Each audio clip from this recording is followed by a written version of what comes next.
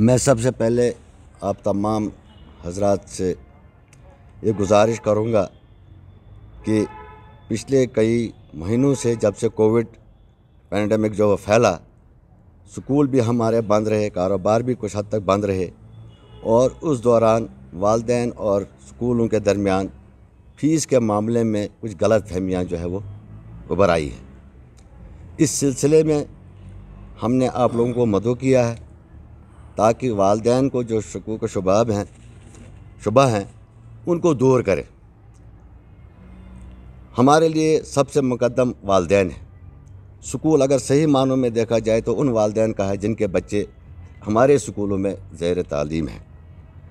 हम बड़े शुक्रगुजार हैं वालदेन के कि उन्होंने इस गंभीर सूरत हाल में भी हमारा ताउन किया।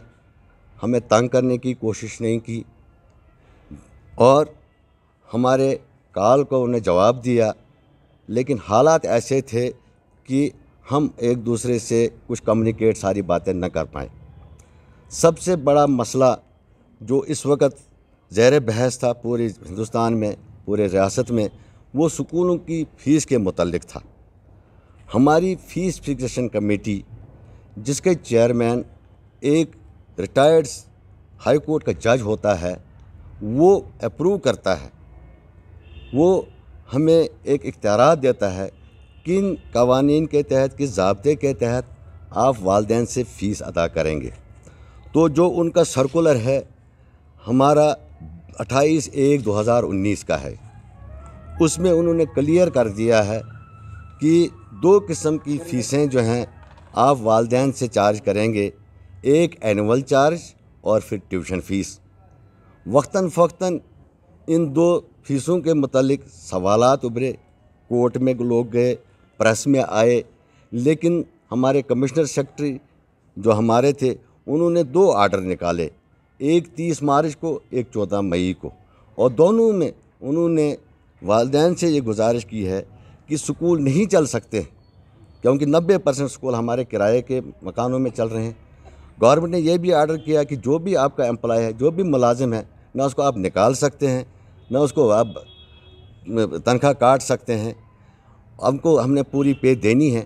तो साफ़ ज़ाहिर सी बात है कि अगर आप पेरेंट्स हमें ताउन नहीं करें तो इतने घर जो इन प्राइवेट स्कूलों पर चलते हैं, या जो अखराज हमारे हैं, वो हमें नहीं हम कर सकते हैं।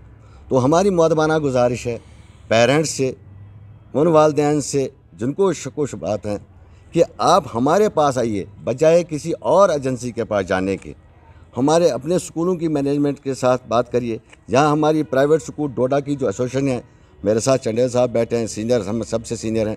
इधर शहाब साहब बैठे हैं, इधर शरीफ साहब बैठे हैं, इधर से हमारे रिजवान साहब है। ये सारे लीडिंग स्कूल्स के प्रिंसिपल्स भी ऑनर्स हैं। तो इनके पास जाने, जाना चाहिए, बजाय किसी मीडिया में बात करने के या शिकायत दर्ज करने के, क्योंकि बीमारी का इलाज तो अस्पताल में डॉक्टर के पास होगा, वो बस अड्डे पर नहीं होगा।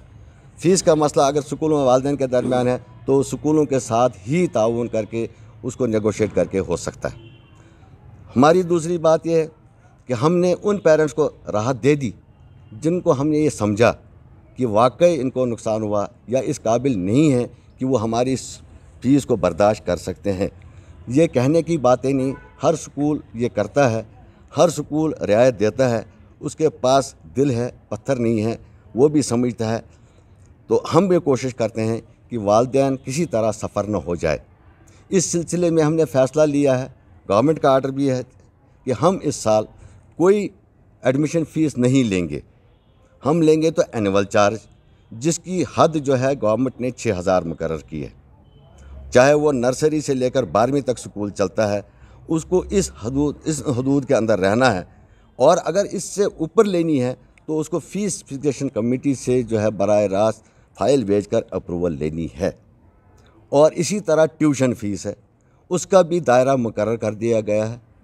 तो उसमें आपको कोई दुविधा, कोई शक नहीं होना चाहिए कि कोई स्कूल जो है वो एक्सवायरेंट रेट्स पर ज़्यादा कर रहा है या ज़्यादा आपसे लेता है, ऐसी बात नहीं है। क्योंकि स्कूल भी इस ज़मन में, फ़ीस के ज़मन में बड़े एहतियात से काम लेते हैं। उनको भी ये पता है कि हमारा स्कूल अगर चलता है तो उन वालदेन की फ़ीस से चलता है, जिनके बच्चे हमारे पास हैं। हाँ देखिए, वहाँ एडमिशन फ़ीस का बहुत बड़ा ज़िक्र किया गया है। दो तरह की, तीन तरह की फ़ीसें होती हैं। एक होता है कैप्शन फ़ीस। कैप्शन फ़ीस या एडमिशन फ़ीस। ये हमारे डोडा में प्रॉब्लम नहीं है, ये बड़े शहरों में प्रॉब्लम है, जहाँ वो पचास पचास हज़ार रुपया फ़ीस लेते थे। तो हम एनुअल चार्जेस जो फ़ीस फिक्सेशन कमेटी ने किया है अतर साहब ने ज्वाइन किया है हम बड़े उम्मीद है उम्मीद पर उम्मीद रख रहे हैं कि वो इन ऐसा कोई काम नहीं करेंगे। उन्होंने आश्वासन भी दिया हमारी एसोसिएशन को कि हम दोनों वालदेन का भी ख्याल रखेंगे और स्कूलों का भी ख्याल रखेंगे। आज के बाद जो वो काम करेंगे उसमें दोनों पार्टीज़ का खास ख्याल रखा जाए। हरकत कर रहे हैं। देखिए मैंने पहले कहा कि अगर किसी स्कूल के मतलब आपको कोई शिकायत है वो मेरे पास आए हमारे चंडेल साहब के पास आए हमारे शवाब साहब के पास आए तो हमसे बात करें। एनुअल चार्जेस के लिए कोई बाइंडिंग नहीं है मेरे ख्याल में जो हमारे सर इसमें ऐसा है कि अभी आपने सवाल उठाया कि एनुअल चार्जेस लेने के लिए मना किया गया। ऐसा कुछ नहीं है ये गलतफहमी है लोगों की। आपको एनुअल चार्जेस लेने हैं बच्चे से और मंथली ट्यूशन फ़ीस लेनी है। उसके अलावा आपने बच्चे से कोई चार्ज नहीं लेना है। और जहाँ तक डिस्ट्रिक्ट डोडा की बात अगर मैं करता हूँ तो यहाँ पे ऐसा कोई स्कूल है ही नहीं कि जिसकी कोई बहुत ज़्यादा फ़ीस है। आज के वक्त में पाँच सौ रुपया तीन सौ रुपया हज़ार रुपया डेढ़ हज़ार रुपया महीने का क्या है? मैं तो समझता हूँ ये जो फ़ीस है ये तो सिर्फ़ स्कूल में आने की फ़ीस है पढ़ाई तो फ्री है। और इस वक्त अगर देखा जाए डिस्ट्रिक्ट डोडा की अगर मैं बात करता हूँ सबसे अच्छी पढ़ाई यहाँ है। मेरे हिसाब से अरेस्ट वाइल डिस्ट्रिक्ट डोडा में इस वक्त हमारा डोडा नंबर वन पे है। और फैसिलिटीज़ को अगर देखा जाए, क्या फैसिलिटीज़ मिल रही हैं, उसका कोई मुकाबला नहीं है। दूसरी बात यह है कि जैसे हमारे हफीज़ साहब ने कहा, फ़ीसें पहले क्या होती थी? एक हम एडमिशन फ़ीस लेते थे, एक एनुअल चार्जेस लेते थे ट्यूशन फ़ीस लेते थे, बहुत से चार्जेस होते थे। लेकिन जैसा कि हफीज़ साहब ने कहा कि अब सिर्फ़ एनुअल चार्जेस और ट्यूशन फ़ीस पे रखा गया है। तो अभी हर एक स्कूल यही ले रहा, अब आप मुझे बताइए यार गुंदना में कोई स्कूल ले रहा क्या ले रहा होगा? सौ रुपया, डेढ़ सौ रुपया? अगर वो दो सौ रुपये भी फ़ीस नहीं लेगा अपना स्कूल कैसे चलाएगा? एक स्कूल के पास साठ सत्तर लोग काम कर रहे हैं। मुझे बताइए उनकी सैलरी कहाँ से निकलेगी?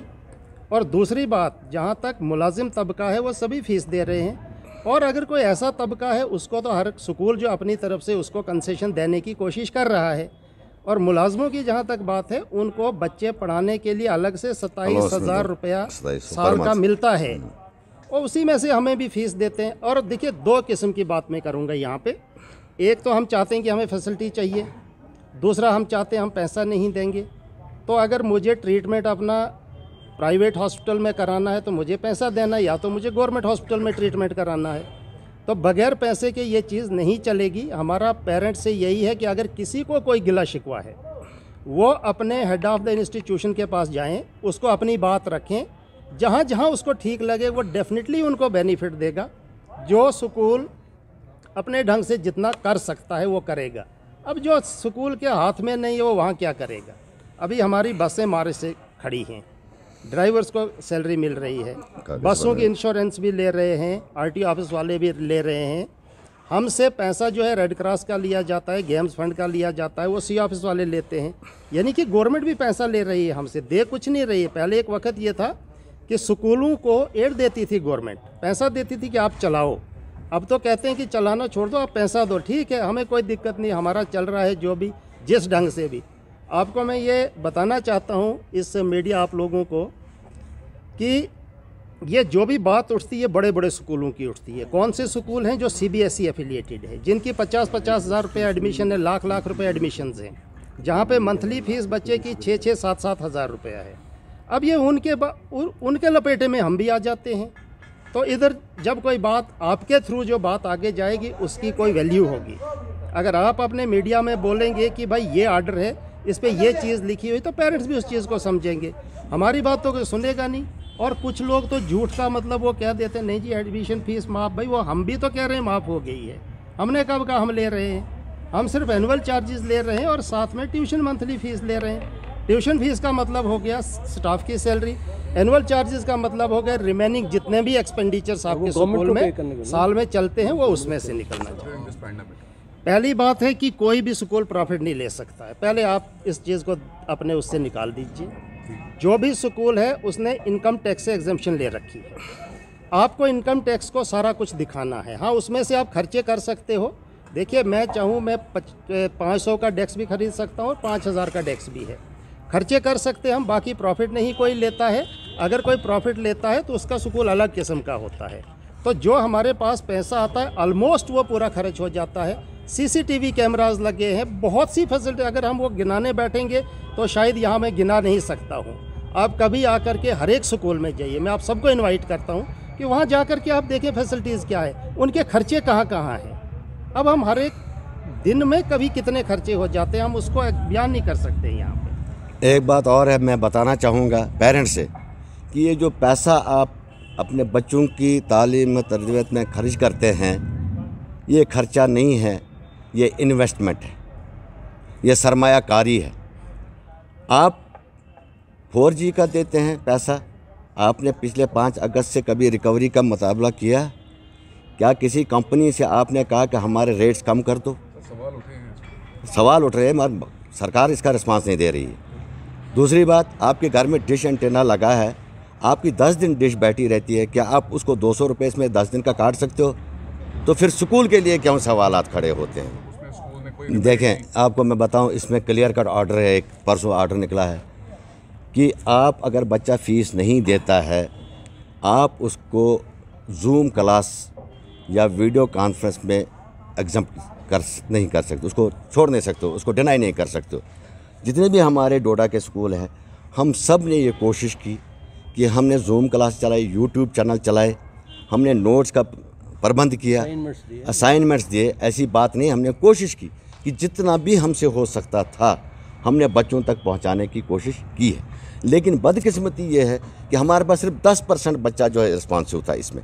तो उसमें हमको कसूरवार नहीं ठहराया जा सकता है। वो उन वालदेन और वो बच्चे जो अपनी लापरवाही का मुजाहरा करके अपने बच्चों को पीछे लगा और दूसरी बात, हमें इतने सर्कुलर सरकार के आते हैं, कभी इम्तहान लो, कभी असाइनमेंट बेस्ड ले लो, कभी ऑफलाइन ले लो, कभी ऑनलाइन हम तजु का शिकार रहते हैं।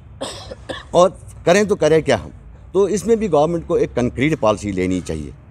आपने कहा कुछ लोग बड़े जो है, मुतासर हो गए। तो यकीन यकीनी बात है, आया है। लेकिन हमने गवर्नमेंट ने ये, हमने फैसला किया था गवर्नमेंट ने, कि हम आपको वन टाइम फाइनेंशियल असिस्टेंस देंगे। हमसे वो डाटा भी लिया गया। अगर वो फाइनेंशियल असिस्टेंस हमें आती है तो यकीन जानो कि हम बच्चों को उसमें मदद करने की कोशिश करेंगे।